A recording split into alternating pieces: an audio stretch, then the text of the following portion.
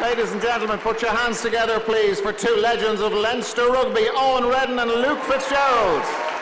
Owen, what do you miss the most? Uh, well, I stay in touch with a lot of lads, so I don't, I don't suffer from the, the lack of getting slagged, so that still happens.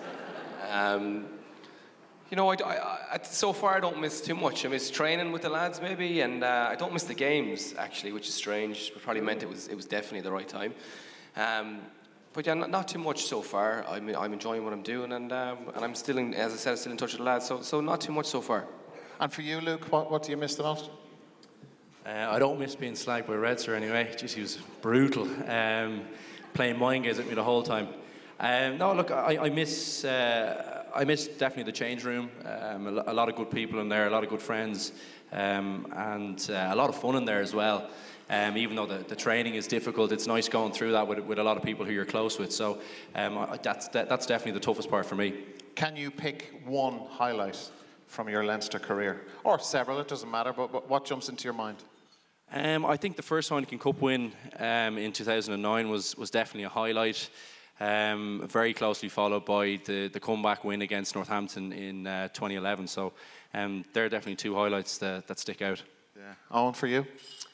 Um, I'm going to foray into a little bit of maybe there's two people here who, who I was going to mention, and it's probably a highlight for me, which is probably a bit of a low light at the same time. But and they probably both don't want to hear this, but um, there was a particular point in my career when I'd been I'd been dropped by Joe late in a week um, when Ireland were due to play New Zealand in the Aviva in 2013, and on this occasion, Bossy was going to play New Zealand, and you know it was late in the week, and. Uh, I rang Aoife there, who, who, was a huge supporter to me throughout my career, and was like, "Joe's, Joe's telling me I, uh, you know, I'm not involved at the weekend, but you know, I want you to stay around and hang around with the lads." And, and I was thinking, "Geez, that's."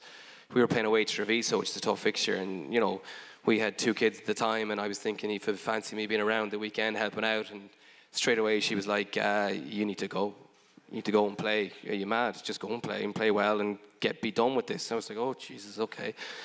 so I rang my dad and said, uh, "I know you've tickets for the weekend, and uh, and I'm uh, I'm not involved."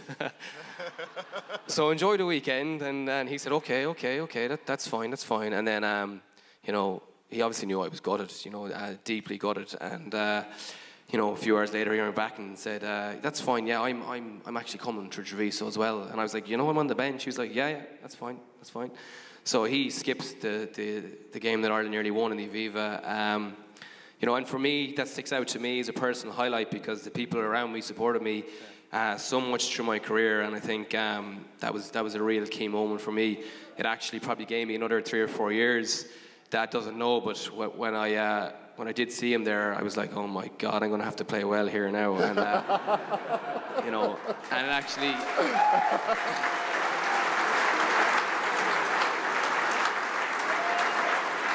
and uh, just Ronan O'Donnell, who is the ultimate fan on the sideline, who literally will not stop giving out about the referee and everyone.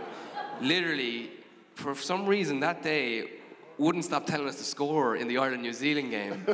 and I was like, eventually, I was like, Ronan, seriously, shut the f up. um, and that doesn't go down well with Ronan, trust me. Um, I think we should get Ronan up here.